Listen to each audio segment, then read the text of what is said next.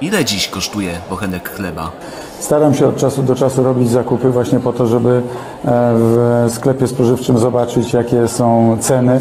Porównuję je też do cen e, w skupie. Na przykład bardzo ważne jest dzisiaj takie zjawisko, no Pani mnie pyta o ceny w sklepie, czy o ceny e, rosnące, natomiast po drugiej stronie są rolnicy.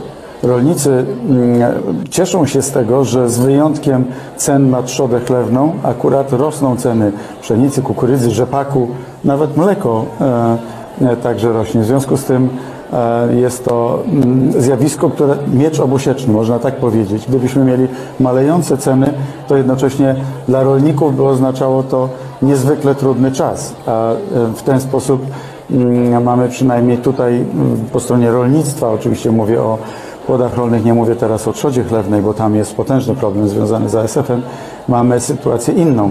Dlatego chcemy mm, zdecydowanie e, poprawić los emerytów poprzez wzrost ich dochodów netto, bo emerytura bez podatku do 2,5 tysiąca złotych oznacza, że w kieszeni emeryta może miesięcznie zostać e, sto kilkadziesiąt złotych, nawet 200 złotych, w zależności od poziomu e, emerytury.